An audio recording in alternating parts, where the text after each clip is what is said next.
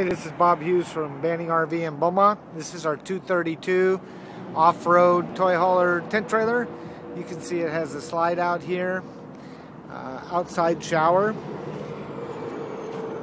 You have a little compartment door for underneath the dinette. Furnace, it's got spare tire with an alloy wheel on the spare. Stabilizer jacks are built in. Around the other side.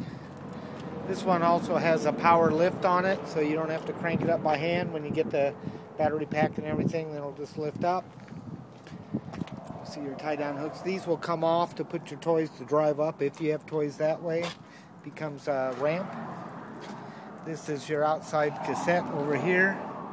So you just pull out to dump your uh, toilet. And this would be a little hook up here for propane for your barbecue fits here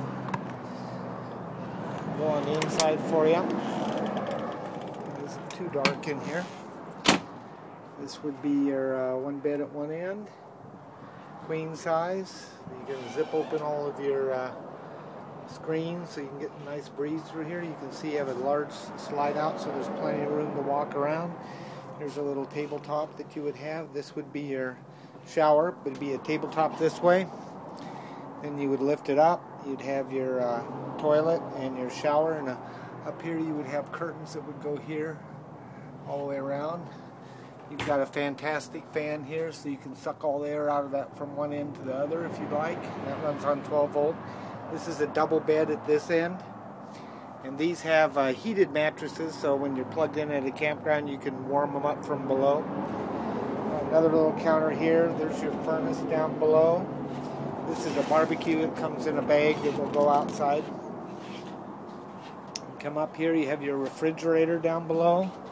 And it's a true refrigerator. You can see the vents in there. It's not an ice box. And your converter box that'll convert from 110 to 12 volt and charge the batteries. This is your uh, cooktop, three burner cooktop.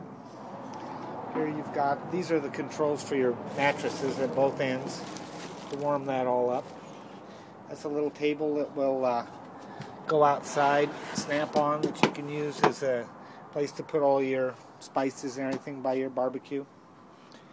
And I'll try to go up and just kind of do it once. So you want to see the inside, so that hopefully that'll help.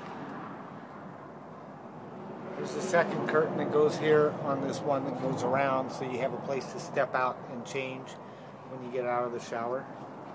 This will turn into the bed. You also can take the table outside if you'd like. So, quite a bit of room. Anyway, this is Bob Hughs at Banning RV in Beaumont. My cell phone is 951 236 5968. Thank you.